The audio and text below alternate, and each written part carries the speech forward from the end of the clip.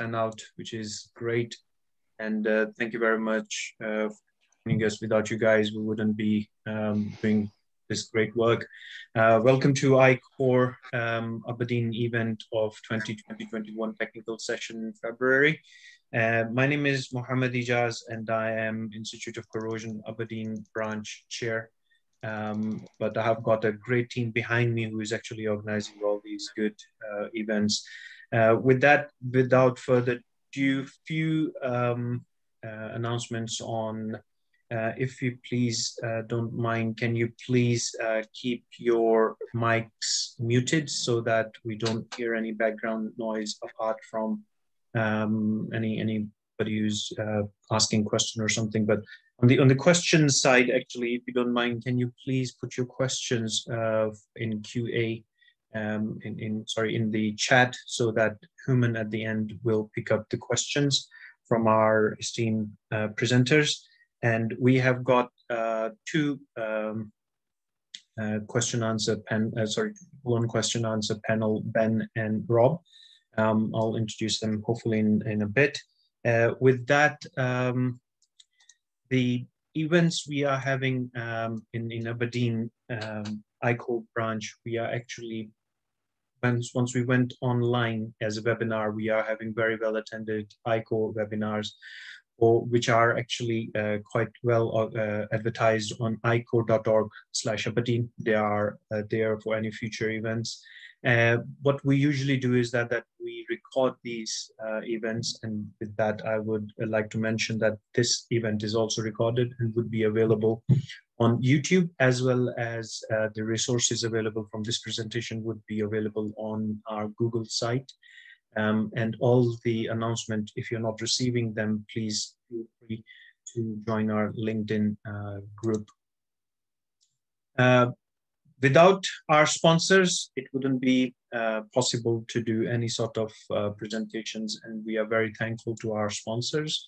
Uh, as you can see there, there are quite um, quite few names out there, and we say thanks to all. If you're not on the list, please feel free to contact us, any anybody in the uh, in the committee, um, just to uh, we will just guide you in right direction. Um, so it's probably important to know that who are in the meeting, um, sorry, in the committee, and that's all of us. About twelve of us are there, uh, helping out each other to do the um, to do the good work in Institute Corrosion um, Aberdeen and uh, quite few names out there. Um, so if you if you feel that if you can contact any of us would be great for any any sort of information you want or if you want to um, help us in any matter. With that, in fact, it's quite uh, it's quite right looking for uh, our um, uh, future speakers if you or anybody in your organization is happy to present any of the work you or anybody in the organization has done, please feel free to drop a line to Human, who is our vice chair, and uh, or you can actually send email uh, to our um, uh, admin, uh, sorry, to our to our admin or um, internal secretary, sorry, Nigel or Human there or me, don't mind. Um, so with that, I would like to introduce our presenter uh, for today, uh, Rob Hardy, who's a commercial manager of uh, Tracerco, and he has recently joined Tracerco from Food Instrumentation about 18 months ago. He's keen cyclist and successful charity fundraiser, um, and uh, he has held several previous managerial positions in industrial scientific companies, including CEM, uh, Gallon, and Kuroda. Uh, Rob holds a master's in chemistry degree from the University of Newcastle. Uh, with that, I would like to uh, request Rob to take over. Um, yep, thanks, Mohammed.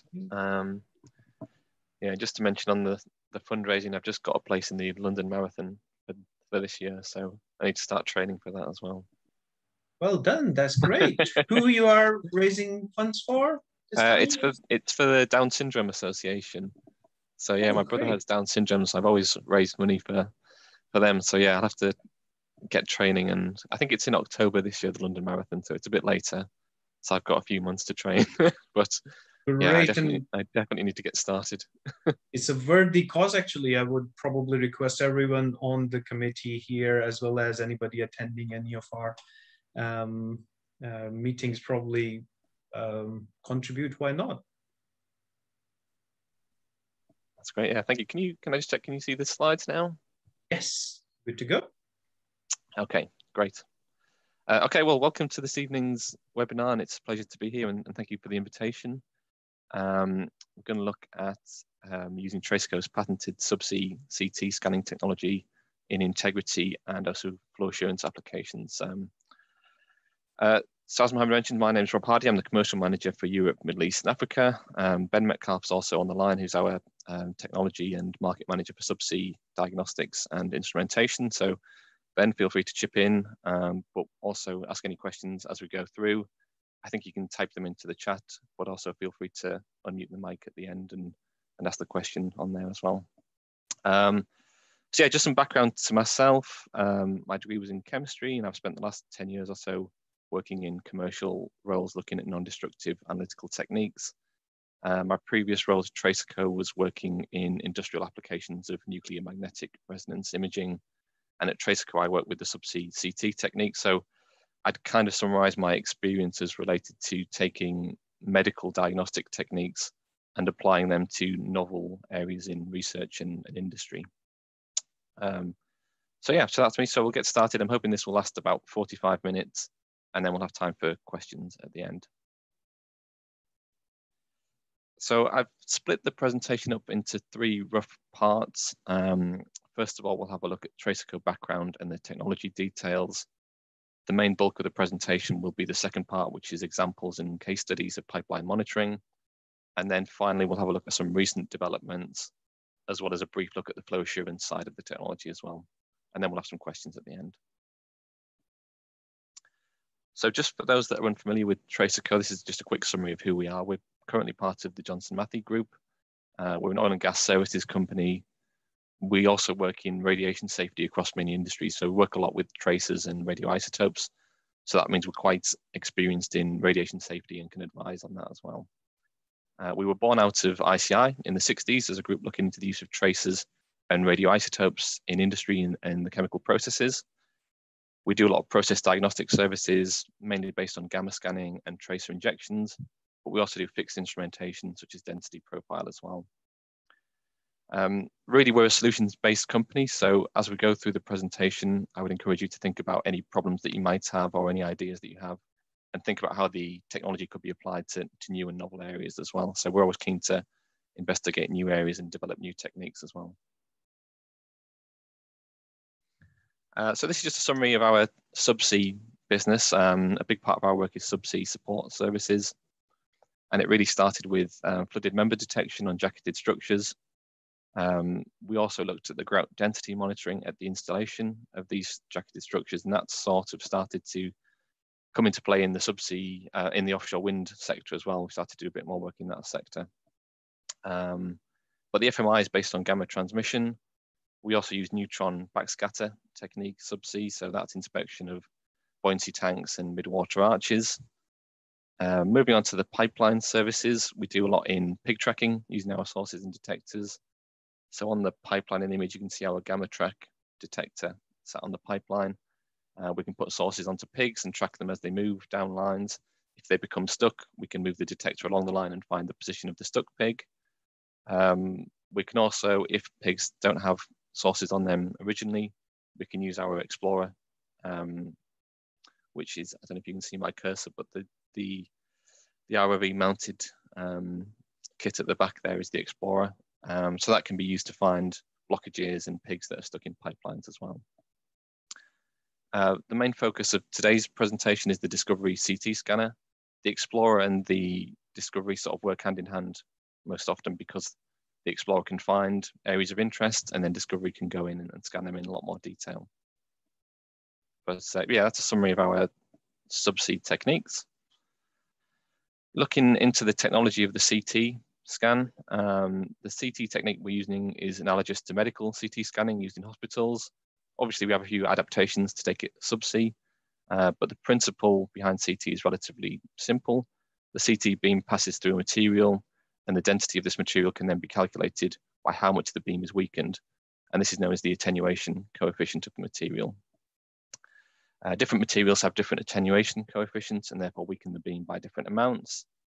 What we do is take multiple line of sight measurements across the item to be scanned, which provides multiple data points of the item's attenuation coefficients corresponding to grid points for the item. So in a complex system like a, a pipe with integrity and flow assurance issues, there are obviously a lot of materials with different attenuation coefficients, so we get a lot of data from different angles. Um, so reconstruction models then take this information and use it to generate an accurate image of the scanned item. Um, as CT uh, scanning produces a complex grid of data, it's often likened to a Sudoku puzzle, except one which can only be solved using computers and iterative algorithms. So whilst the analysis is, is quite complex, um, the advantage of the CT scan is that it's, it's able to generate information about the pipeline wall thickness and integrity in one scan. So you get all the data and can process it in different ways to get the integrity and the flow assurance data on a pipeline. Um, this information can then be fed into pipeline integrity management systems, enabling an operator to get the most accurate information possible on the actual operation of their pipeline at that exact location. Um, so this slide is really a, a, snapshot of the technology when we take it subsea. So it's truly non-intrusive. It can scan through coatings. There's no interference to production. We get both the integrity and the flow assurance data in the same scan, and we'll see examples of this um, and how we can adjust the density scales to study different aspects of the same data. Um, the detection capabilities of the Discovery CT scanner have been developed to be similar to or better than capabilities achieved by existing inspection techniques such as magnetic flux leakage MFL, inline inspections ILI, or pulse eddy current PEC. Um, this helps to ensure that information available to operators with complex or unusual pipeline systems is as good as that available to those with more conventional systems. Um, the information produced by Discovery has also been developed to ensure maximum possible compatibility with other pipeline inspection techniques and also integ uh, integration with pipeline integrity management systems. Uh, the system produces tomograms and we'll see a lot of those as we go through the presentation. And this is an exact image of the pipeline at that scanned location. Um, so this is the summary really of the current capabilities and the parameters, but we're always looking to expand the tool and expand the capability and expand the technology. So if anyone has any needs outside of this, then, then please talk to us and let us know. Uh, one thing to mention as well is pre-project calibrations and FATs. The system is very versatile and adaptable to different conditions and pipe sizes, and it is as adept at scanning through 50 mil of heavy concrete coating as it is a scanning through micron thick fusion bonded epoxy coating. So we have a range of qualified parameters we work within uh, as a standard. However, we can also carry out trials, FAT and calibration work as required for more unique projects. Um, so for pipelines outside of the standard range, a specific pre-job calibration is required in the same manner as a standard MFL approach for performing pre-project pull-through testing. Um, the precise goal of the pre-project calibration may vary depending on the exact parameters of the pipe, uh, but typical goals for the pre-project calibration could be um, validation of anomaly characterization using defect pieces, uh, determination of sizing accuracy and standard deviation values, uh, determination of most likely features identified. Um, so there's a few reasons we might um, perform this, this sort of testing. Um, it also has additional benefits uh, for the onshore project delivery process, because if we know about the, the types of defects we're looking for, then the reporting um, and the, the, the post-project work is, is speeded up a lot as well. So um, yeah, so in the project illustrated here, this is kind of a um, wall thickness map. Um, the pre-project calibration approach was successfully applied. Uh, we detected a small pinhole type metal loss anomaly at the bottom of the line. The operator provided a representative, a representative sample with similar defects, which have been recovered from a pipeline failure in field. So consequently, both the analysis technique and the discovery technicians offshore were able to easily detect and size this defect. Uh, so this is just an image of um, discovery clamping onto a pipeline. So it's delivered uh, to the seabed in a basket. Uh, work class ROV uh, then delivers it onto the pipeline. We have real-time data transmission to the surface. We also have adapters um, so that we can change to different um, pipe diameters if we need to offshore as well. Okay, so why would we use Discovery for integrity inspections? Well, um, the Discovery image reconstructions are available immediately offshore, allowing for preliminary real-time assessment of the data. Uh, this includes wall thickness measurements for any identified defects, product bore analysis, or deposit detection. Uh, the results can also be used by an operator to help targeted inspections, so um, it really can guide the inspection campaign as well. If, for example, an area is inspected which contains an unexpected level of buildup, an operator may choose to perform additional inspections of that location to monitor for the presence of any under deposit corrosion. Um, we don't need to remove any coatings or stop any production as well. Um, and like we said before, the pre-project calibration allows offshore technicians to determine the likely early scan indicators that can be used to confirm if a significant wall thickness variation is present at the scan location. So again, this helps to minimize the overall project duration um, for the same inspection area and the size of the operational intervention. Uh, so we'll have a look at some case studies and real world examples from the last few years. So um, we do a lot of work with concrete weight coated pipelines. So concrete weight coatings provide both additional weight and protection against damage and have proven to be popular external coating for many subsea pipelines. Uh, unfortunately for operators on unpiggable concrete weight coated pipelines, the external coating uh, can also significantly limit the effectiveness of any external scan of the pipeline. Um, the vast majority of externally applied inspection techniques require direct contact with the pipeline metal. So previously when an operator required an inspection of a concrete coated pipe, they may have had to resort to removal of the coating in order to allow an external inspection.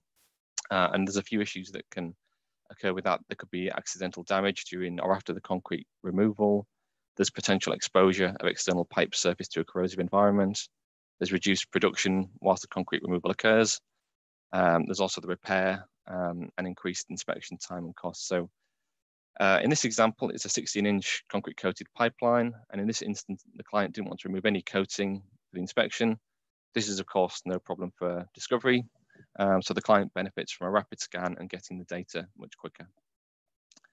Uh, so the cross-section image on the left is how the pipe actually looks. We can see the 63 mil of concrete coating, 5 mil of polyurethane anti-corrosion layer under this. Uh, and below that, we can see the, the pipe wall itself. Uh, the image on the right-hand side is the actual tomogram obtained with Discovery. You can see that once the density scale is added and the colors um, are added in there, the interpretation becomes very intuitive and easy to visualize what's going on. Uh, you'll see that all the features are clearly visible in the tomogram, and interestingly, we can see the um, steel rebars in the concrete coating as well. Also in that image, you can see we've been able to add the wall thickness measurements uh, in various sections. Uh, and we'll see a bit more of the types of measurements as we move through the presentation as well. Uh, the graph below the pipe cross sections uh, is actually a 360 degree wall thickness map of the pipe. So we have an average wall thickness of 14 mil as shown in the black dotted line.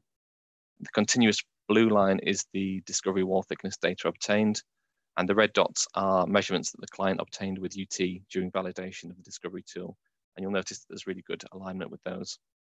Uh, one point to note in that is the uh, increased wall thickness on the seam weld on the 360 map.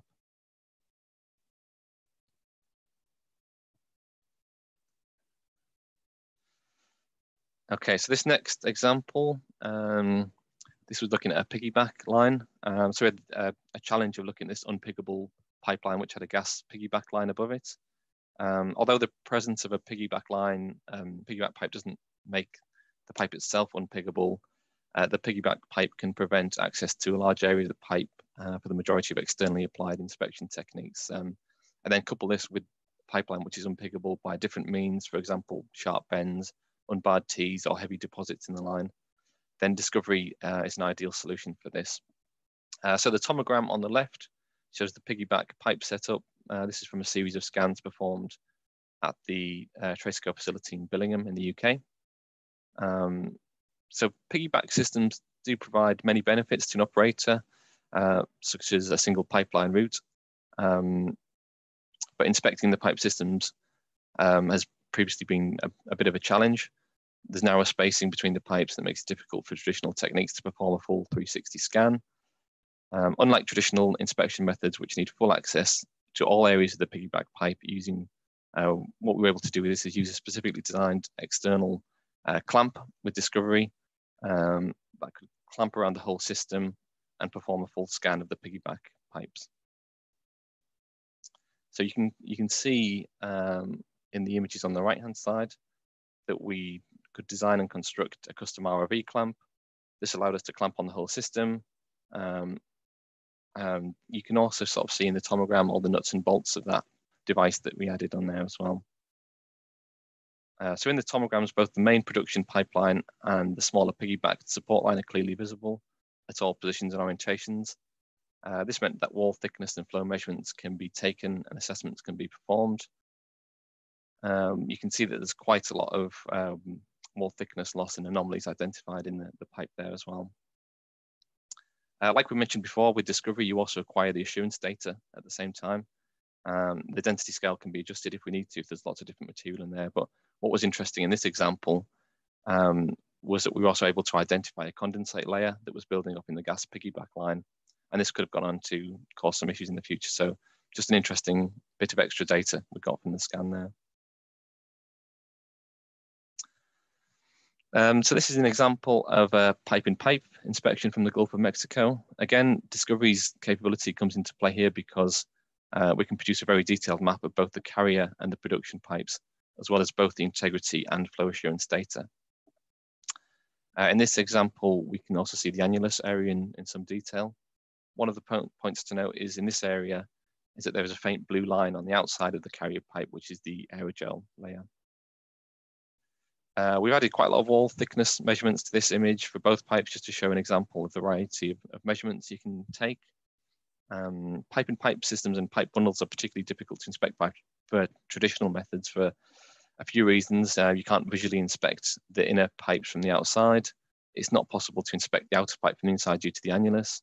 Um, inner pipes may be lined or manufactured from a corrosion resistant alloy. Um, there might be extra and irregular material in the pipe such as centralizers or spacers. There may also be heating elements or insulation in the way too. So um, so yeah, this is the pipe-in-pipe systems are really ideal um, for discovery, um, and it's proven itself to be particularly adept at scanning these types of systems, providing accurate wall thickness measurements for both inner and the outer pipes, as well as being able to provide a report on the condition of the spacing between the inner pipes. Uh, looking again at some bundles, so pipe bundles present a similar level of complexity. Uh, this tomogram shows a test tank scan of a pipe bundle where uh, the various pipelines, and umbilicals, and even seam welds and rust accumulation in the bottom of the pipeline can be clearly seen. Um, you'll see the several straight lines can also be seen intersecting various pipe walls. These lines are CT detection artifacts caused by uneven reduction in the beam density at positions tangential to the pipe wall. Uh, detection artifacts such as these are well-known phenomenon in CT, and we have uh, several different techniques to minimize the effect of these artifacts on wall thickness analysis results. Um, although currently Discovery is only available scanned pipelines or bundles up to around 27 inches out of diameter, uh, we've done feasibility studies and we've demonstrated that it would be possible to extend the system to larger diameter pipes in the future. And that's something that's on our, our plans for the future as well. Um, um, let's move on to that. So this next one is another corrosion example. Um, this is looking at internal corrosion. Uh, this was a large diameter gas line. Uh, after a scan with Discovery, we obtained this tomogram, and you can see clearly see some instances of severe wall loss around the pipe, most noticeable at the 12 o'clock uh, and the sort of uh, three o'clock positions there. Instances of broad wall thinning, as well as some severe isolated corrosion spots were identified. Um, you can also clearly see a section at the bottom of the pipe where a, fact, uh, layer of condensate layer is building up, which could be a contributing factor um, to the corrosion that we've seen on there. Uh, in this next example, um, the client wanted to know more about the suspected microbial and bacterial induced corrosion in their flow line. We were able to work with the client and use their own corrosion modeling data and identify hotspots and areas of interest along the line for scanning. Uh, the tomogram here is an example of one such area where we identified um, an area of corrosion there.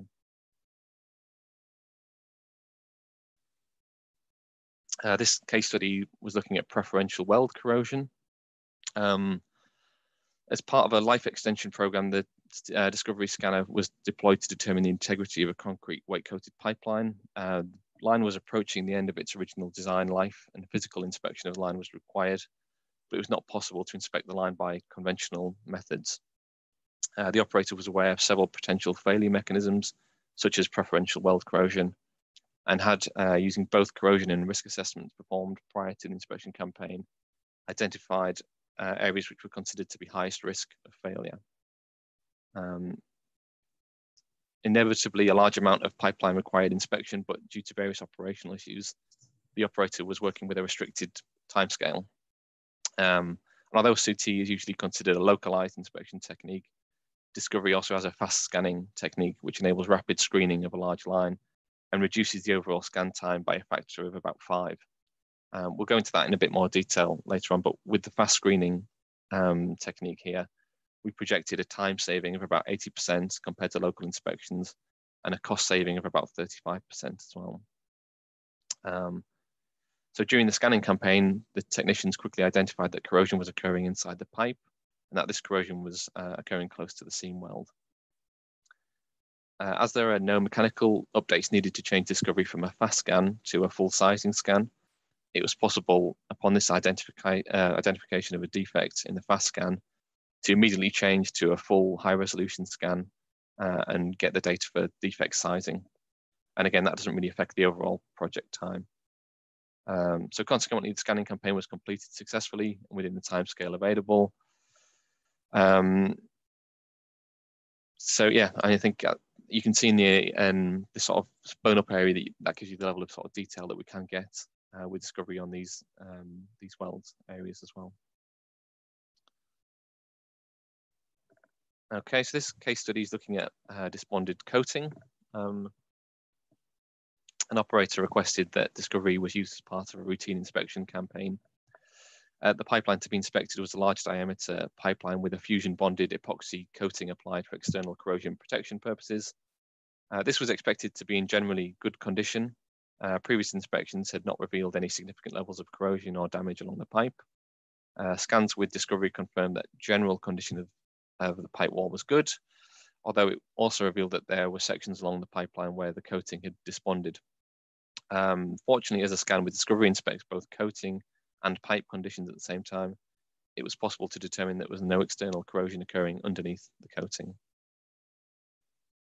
Um, using that information, the operator's then been able to go on and, and make fully informed decision on performing the, the coating repairs. This is just um, a riser example, just to show you that Discovery is also well suited to scan in the horizontal and vertical orientations. So we can also look at riser integrity.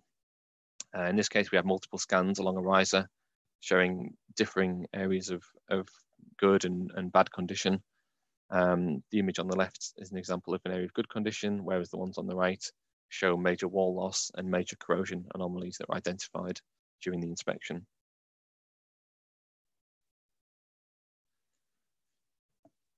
Um, this is another case study that's um, uh, from a, a, project we delivered recently. Um, this was discovery being used to inspect a known leak within a coated water injection flow line the customer wanted to map and measure the extent of the problem and plan some repairs. Visual inspection had identified um, two leaks, but the customer wanted to fully investigate other areas and guide the repair schedule. So seven inspection locations were identified. Within these seven locations, various levels of metal loss defects were identified in all of them. But in two locations, we found full through wall defects. So one point is shown here in the, the images. So there's the tomogram on the right there, and the image on the left is using the data in a slightly different way to get a 2D representation of the wall plot, uh, similar to how you would see with an inline inspection. And the black area there is showing areas of zero wall thickness. So this is just another way of, um, of visualizing the data from the same inspection campaign. Uh, so we're able to take the data and build some 3D models in the seven locations. So I think overall 605 scans were taken over a seven meter section of pipe. Um, so what they were, what they wanted to do was look at the data one meter up and down of the um, of the known through wall defects, and that would guide the repair clamp positioning during the repairs. Okay, so we'll move on just to look at some new developments now, and one of the more recent developments is the fast screening technique that we, we referred to in a, a previous slide. So this allows real-time visualization of integrity data uh, when screening sections of interest and can inform decisions about more in-depth scanning. Uh, so a sinogram is produced as the tool scans, which is monitored. Uh, and as you can see in the two images here, we have a lower resolution image produced after one lap and a much higher resolution one after around 20 laps. Um, although they're clearly differing in resolution, you can see that the defects that are showing up in the higher resolution one are already visible uh, in the scan after one lap. Um, so this is a relatively raw sinogram and, and, different to the density map tomograms that we've seen previously. This data is um, presented for a single 15 mil slice and plotted as the rotational position changes. So although it, it looks like a pipe in the diagram, it's actually the data sort of building up on itself. Um, as the it's one static defect that's tracing throughout the data there. Um, so it's it's um, it's the relative position to the source and detector. So, but what you can tell from this is that you would instantly be able to identify this is an area of interest after one lap. So we could then go on to acquire the full high resolution data uh, and build the tomograms for that area. And then obviously if no defects were detected in a fast scan, the tool can step down the line onto the next section. Um, the fast scanning process has now been applied um, on scanning campaigns on over 20 different pipelines. And the overall reduction in scan time is generally between 50 to 80%, depending on the extent of any damage in the pipeline. So this is just another example. Um, so after the standard delivery and clamping of Discovery, we complete a full scan and data acquisition at location one. Um, this acts as a baseline data before the inspection area. We then have an area for fast screening ahead of us, which can be up to four meters uh, in length. Um, so in this area, we're then looking for any significant variations um, or significant changes. So the process then becomes step, fast scan, monitor, decide whether it's a full scan or, or move on from there. So if there's no change from baseline, then the tool moves on until the next predetermined area for a full scan. In this case, it was a preset to perform a full scan every 20 screening scans if there was no defects detected. Uh, but if an anomaly is detected in a fast scan, then that triggers a full scan. Again, something that we've started to do more recently is baseline inspections. Um, so in this case, we worked with the operator to look at their own corrosion modeling data and determine a selection of points. Uh, once the baseline data has been acquired, Discovery will then be deployed annually to monitor corrosion growth rates in these locations. Uh, we have an example of the tomogram obtained as a baseline.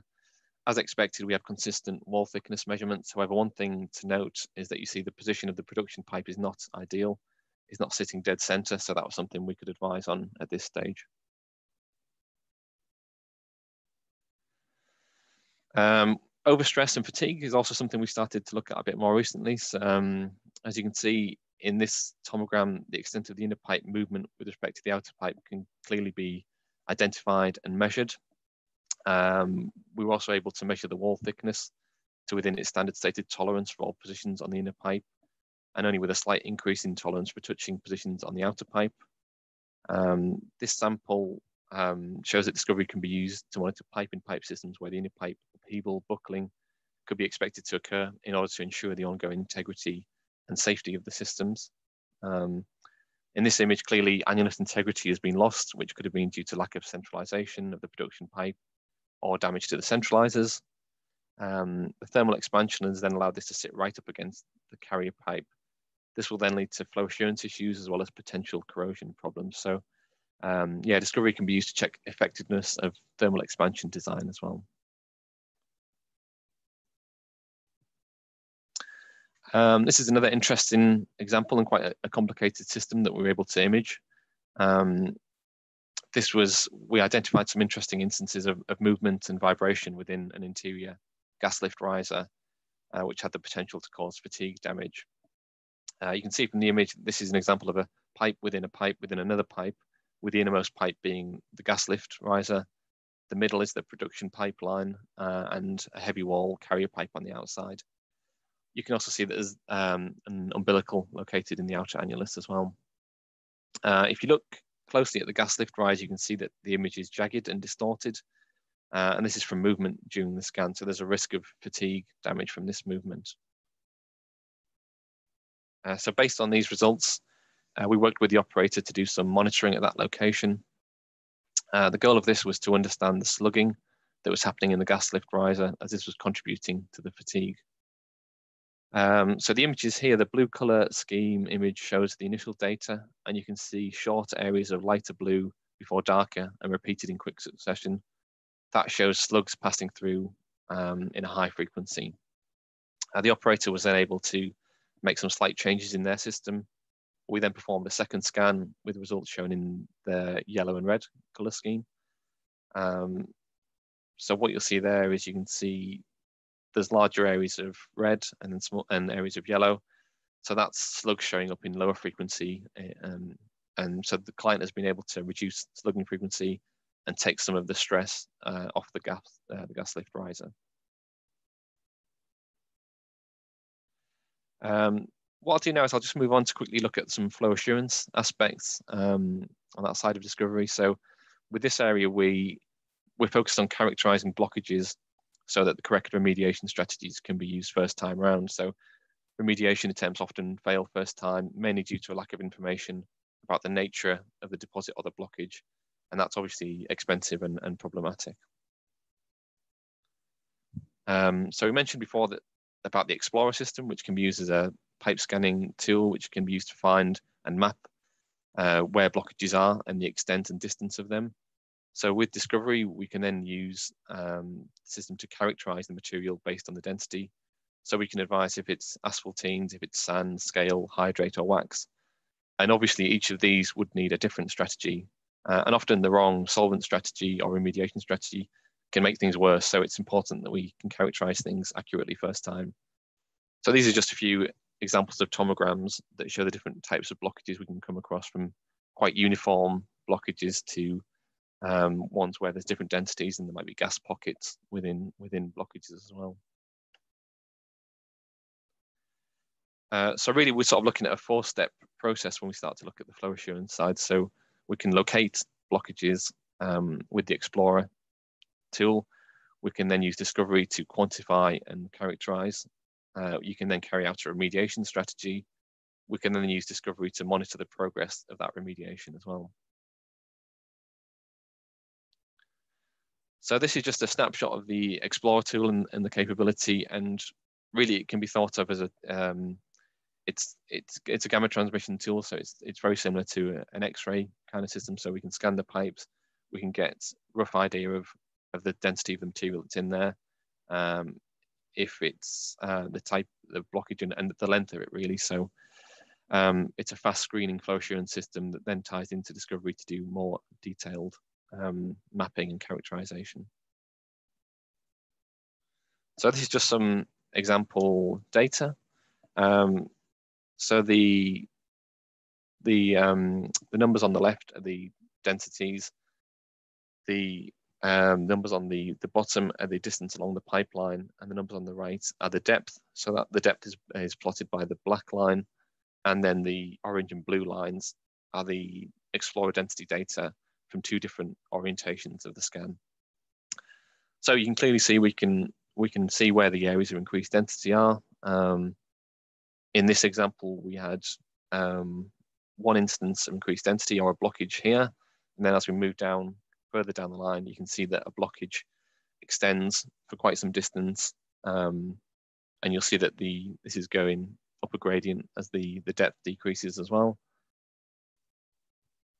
And then we've also got a change in the density. So there's a different type of blockage, or we could be changing from um, from a wax to back to oil or something like that at this stage. So you can see that it, you can map the whole um, condition of the blockage along the pipeline and identify areas for discovery to go in and start to characterize things and give, give a bit more detail on there.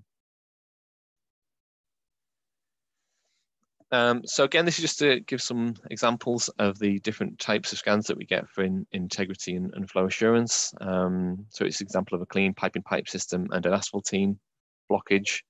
Uh, something else that we can also do is our um, GammaTrack technique, which is a flow monitoring technique, where we can put radioactive sources injected into the line. We can monitor when and how the source exits the line, um, enabling for diagnosis of the extent of a, a bore restriction as well.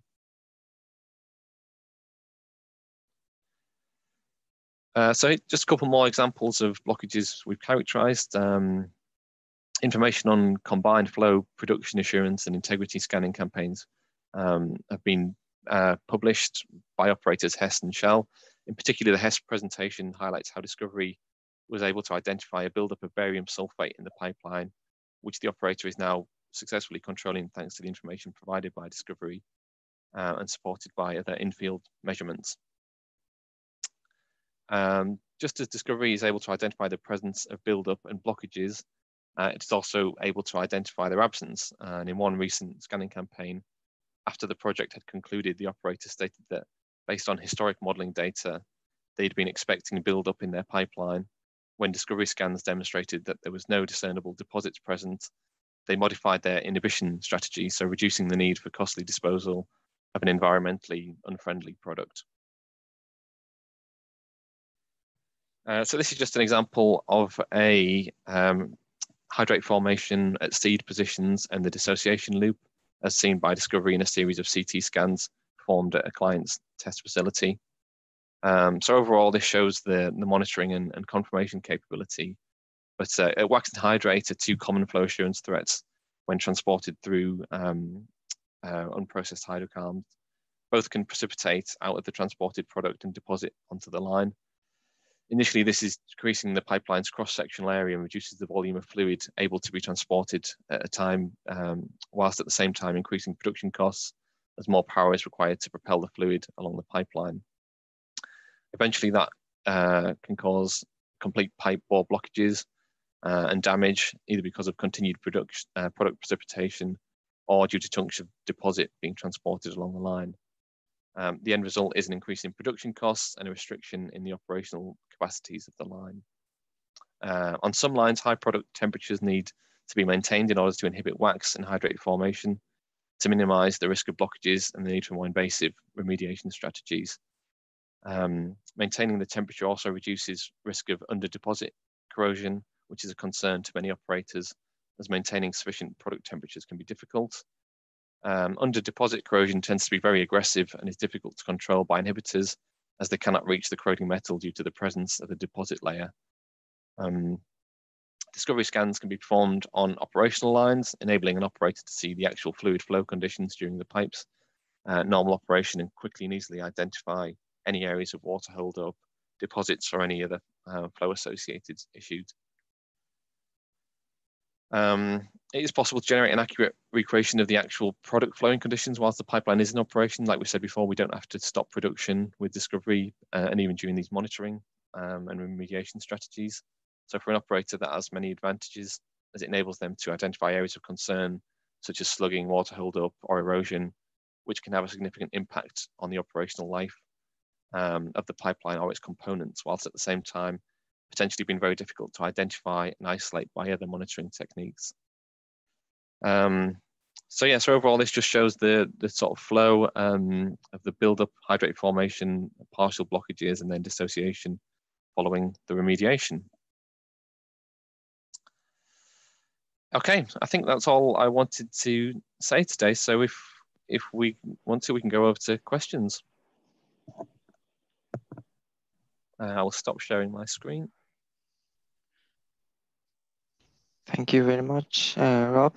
Uh, very, very informative and interesting presentation. I enjoyed it a lot. And I, I'm sure that uh, everyone in the audience have enjoyed as well because we have received a lot of questions in the chat oh, box.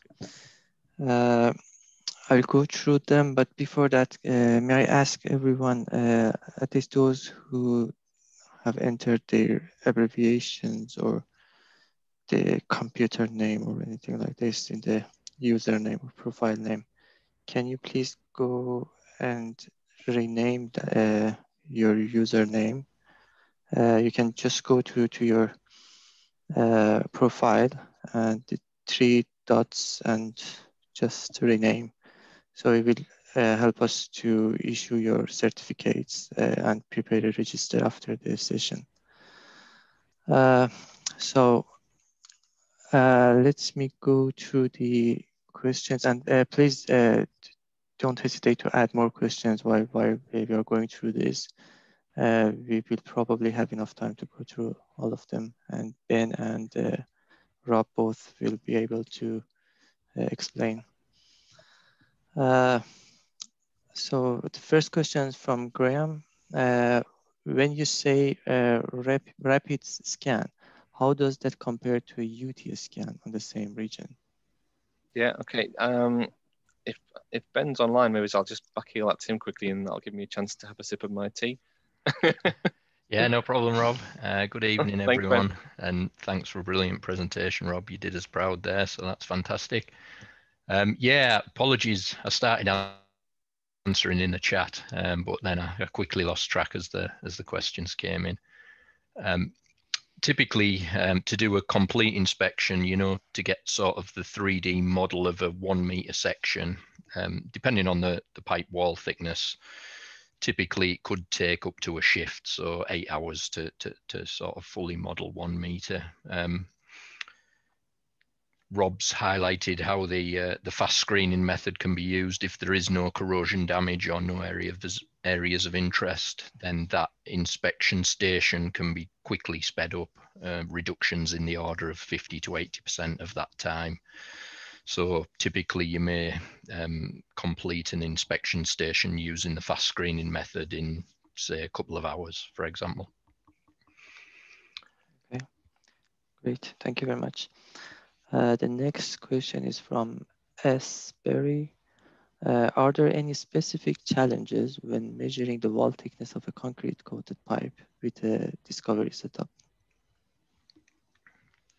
Uh, I'm happy to answer that one again, Rob. Um, yeah, keep going, Ben. yeah, brilliant. no problem. I'm here to help, so uh, keep sipping your tea. Um, yeah, um, in this question, no. Uh, discovery is completely non-intrusive, um, uh, non-contact. Sorry, shall I say, and non-intrusive, I guess. So the uh, the measurement principle, uh, it's based on gamma transmission. The the the transmission system rotates around the pipe. Um, it then goes through a, a, a transformation, as as Rob spoke about, to generate the tomogram that procedure happens completely non-contact with the sample. So providing the uh, static part of the machine can clamp stably onto the concrete coated pipe, the rotating part of the machine performs its inspection completely in a, in a non-contact manner. Um, so the photons pass through the sample without altering the sample or doing anything to the sample at all.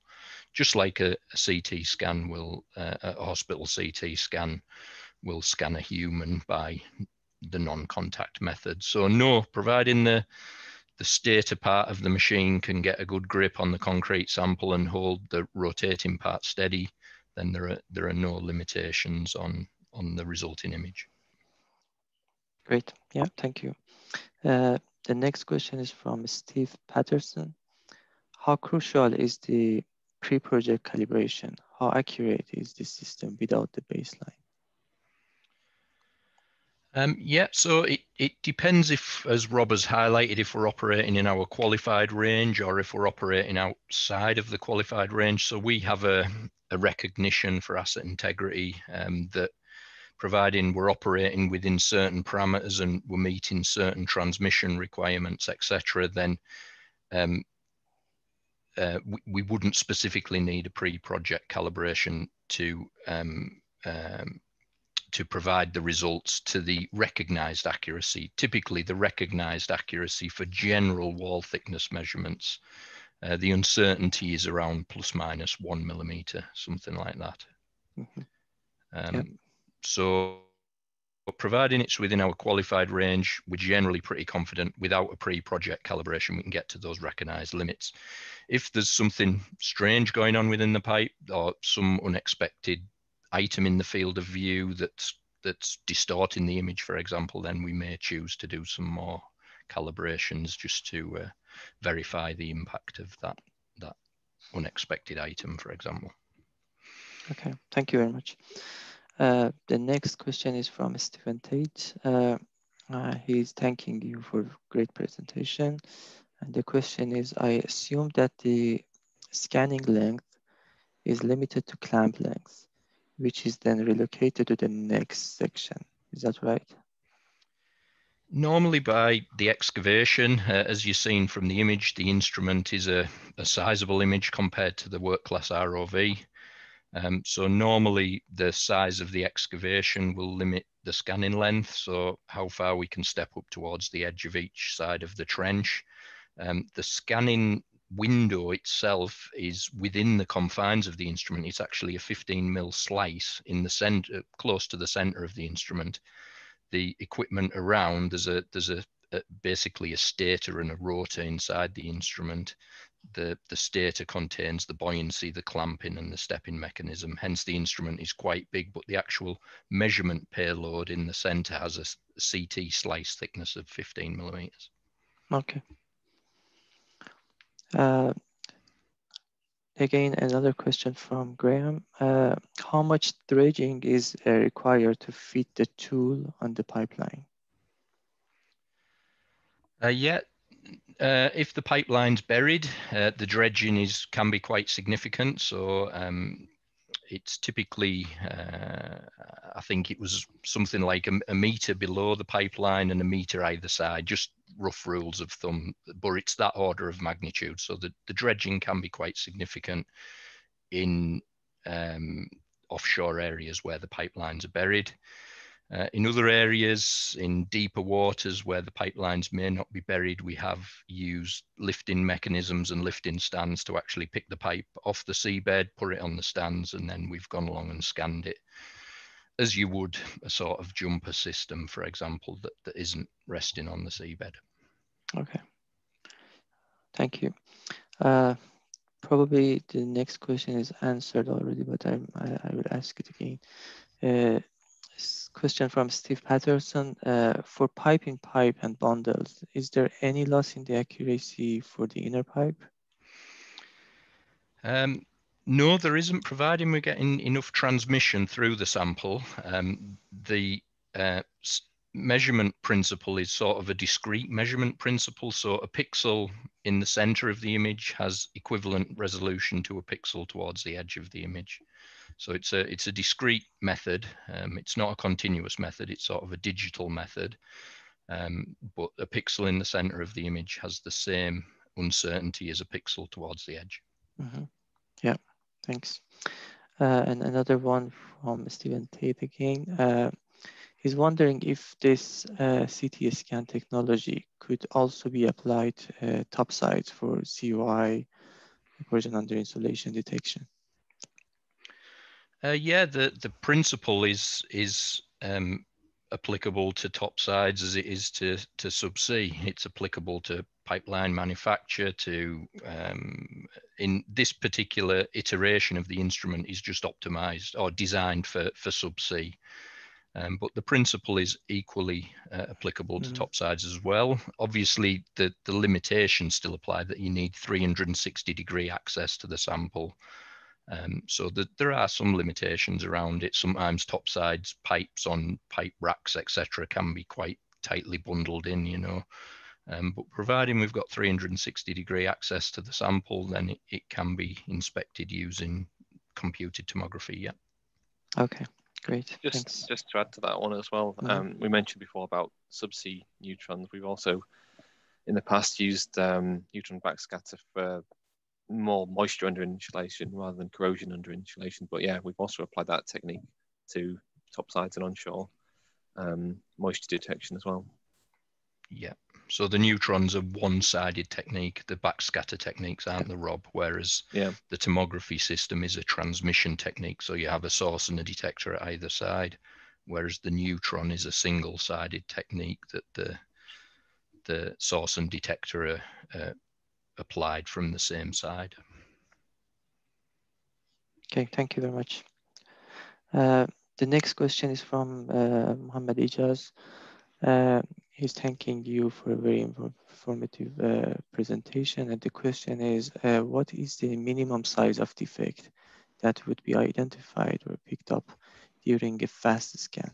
This is important where expected corrosion is very localized.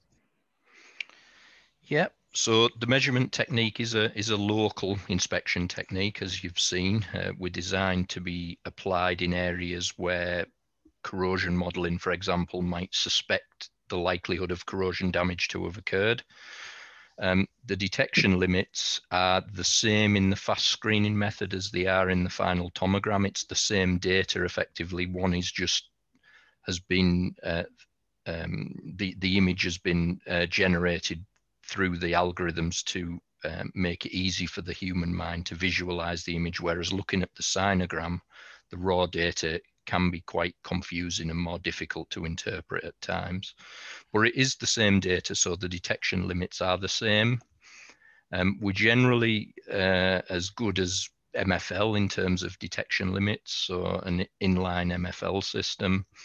Um, typically for the smallest class of defects, sort of uh, pinholes, those need to reach a depth of say two millimeters before we can see them in the raw data and before they are reproduced in the tomogram, the image. Okay, thank you. Uh, the next one is from Graham um, Marshall. Uh, system looks very good for pipe in pipe, flow assurance, and concrete coated lines. However, due to time of scans, surely UT would give better accuracies and faster scan times and coverage. You, do you agree with that?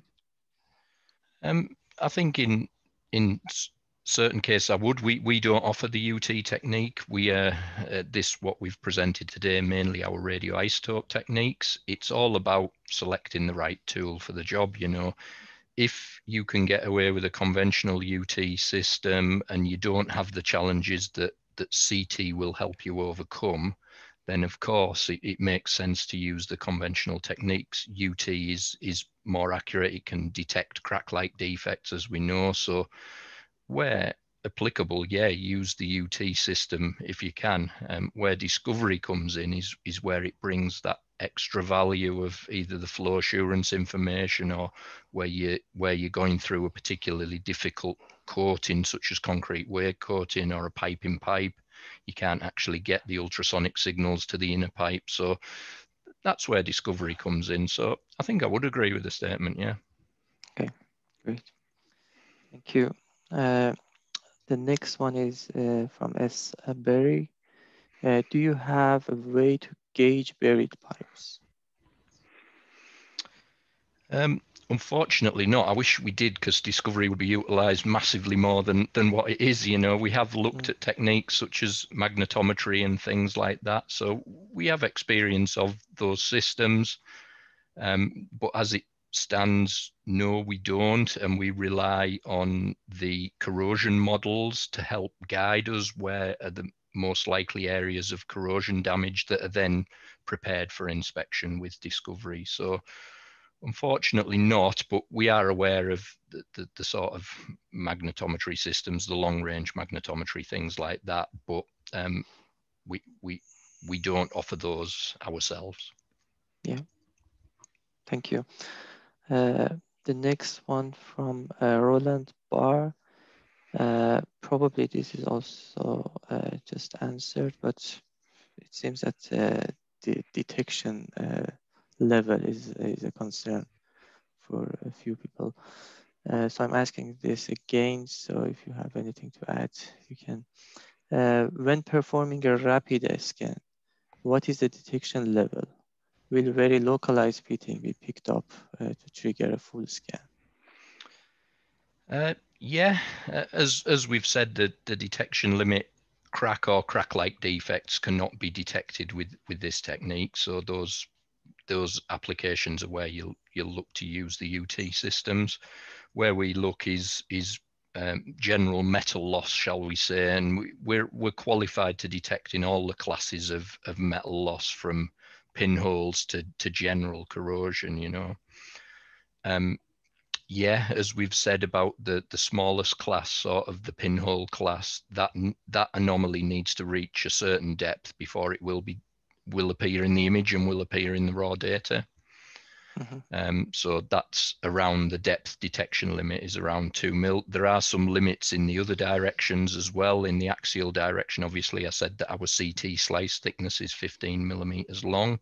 That can be shortened, um, but generally it has to meet certain other criteria. The anomaly in the other mm-hmm. direction, mm-hmm. in the other directions. Um, yes, we have done some trials on flexibles. Um, what's uh, been found is generally in in in those areas the um, tomography technique or this iteration of the tomography technique is not ideally suited with discovery for flexibles. Um, obviously, looking for cracks in armor wires, disbonding, those those are very delicate anomalies that, with our resolution, can become slightly blurred. You know, so generally we're not qualified for flexibles in the same manner that we are for, for rigid steel pipes, you know. Okay. Yeah, cheers. Uh, so another uh, couple of questions about the detection limits. Uh, Arjan Kopliko is asking, is there a detection limit for the width of the defect? You mentioned the depth of two millimeter. Does it mean that the two millimeter defect needs to be 15 millimeter long to be detected?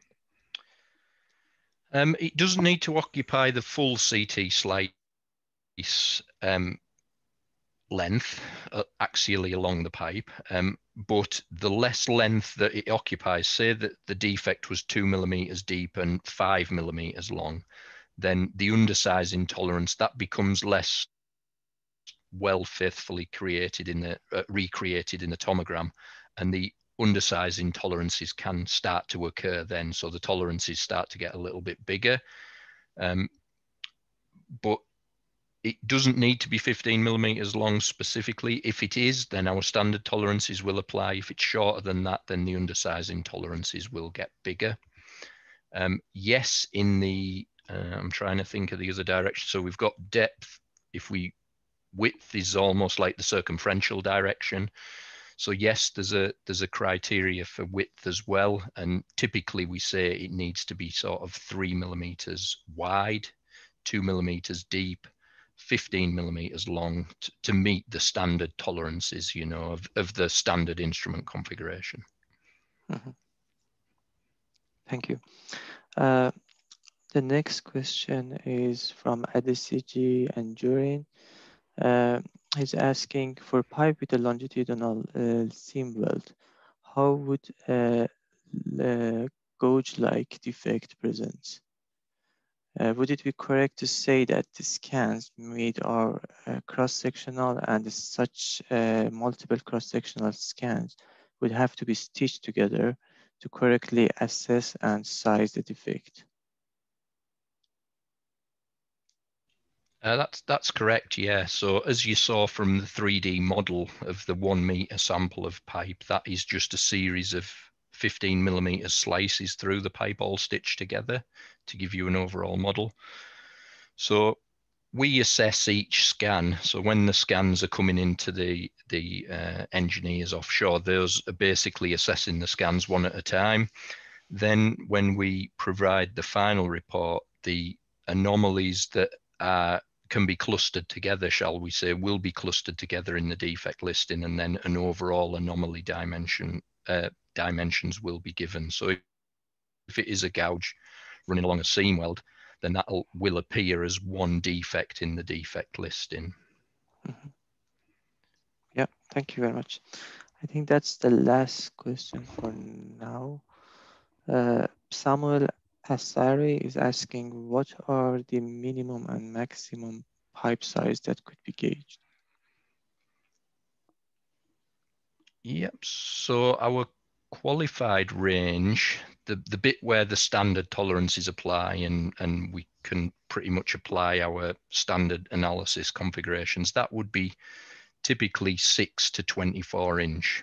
Um, when you start getting, as you saw, the instrument was a, a sort of general purpose instrument designed to cover the the widest possible range of sort of upstream flow lines, you know.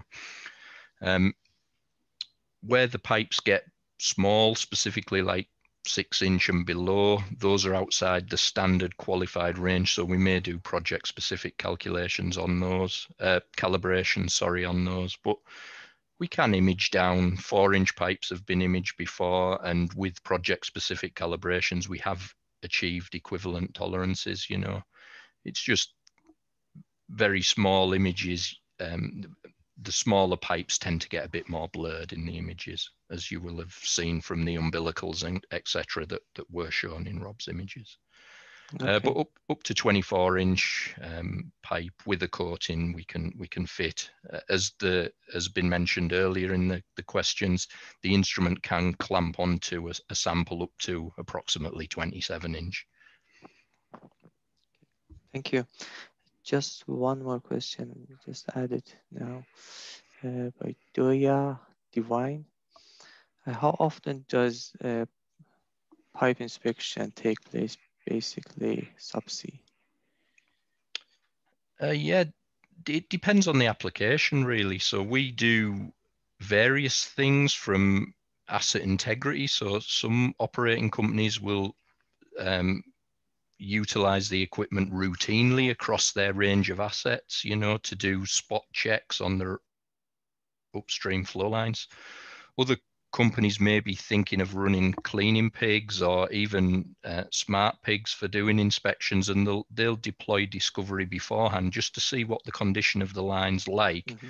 before they actually risk putting these these instruments in line or in the case of a cleaning pig so they know how much debris to expect back in front of the cleaning pig for example so sometimes we get used by companies who do routine asset integrity inspections. Sometimes we get deployed on flow lines where there may have been accidents, for example, anchor damage, uh, dropped anchor, for example, may result in someone wanting to utilize us. And then other other operating companies use us as part of progressive pigging strategies, as I've mentioned, you know, to, to deploy discovery, just to get the image of what's going on inside the pipe before they actually embark on an expensive cleaning regime or even a remediation reg- regime. You know, a lot of companies know when they've got a hydrate problem and when these these situations have occurred. So they'll then use us in sort of an emergency situation like that where they have failed to start up a, a system correctly and they've unfortunately got a hydrate blockage. So the instruments used in ra- uh, ra- uh, quite a wide range of applications. But yeah, generally it's more the upstream stuff. Trunk lines we sort of do less of, although we do do some trunk lines and, and transport lines, you know. Great, thank you very much. And uh, I think by that, that was the last question. Thanks again, Ben, for taking time uh, answering these questions in detail. Uh, appreciate it. And thanks, Rob, again for your uh, very informative uh, and excellent presentation. No problem. Uh, You're welcome. By that, I will hand it over to uh, Ejaz for a few final notes. Yes, thank you very much. I would like everyone to hold, put their virtual hands together and say thanks to our presenters today and people who have been uh, doing great work behind the scene just to make this happen. Um, thank you very much to all of you, uh, much appreciated. Uh, with that, I would uh, like to, as, as uh, Human has already mentioned, that if you can just rename your uh, name or the tag on the meeting would be great because then our organizer can actually match the name with the invitation so that we can actually send out you the survey. So what's going to happen next is that that we will request you to fill in a survey to uh, rate us for our efforts. And if you require any CPD, please send your email address in there back to our organizers, and hopefully you will receive your CPD soon in a week or two time. And if you don't receive any survey or any CPD, please contact back to the uh, email address you have received your uh, invitation from.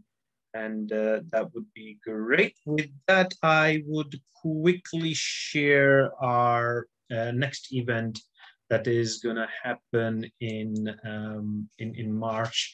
And the speaker for our 30th of March 2021 uh, event, ICorr event, is going to be galvanic corrosion control of reinforced concrete. And the presenter is Dr. George, uh, George Sergi, who's from uh, Vector. And uh, with that, I would like to see you again, hopefully soon in March with that, I would thank you all uh, for being here with this evening and uh, and uh, our presenters and the people who have been uh, behind uh, behind the scene doing all the good work, especially Steve, Amir, and Yunan uh, from my co-committee. And thank you very much for joining us. Enjoy the rest of the evening. Keep safe and keep well. Goodbye. Thank you very much. Thank you.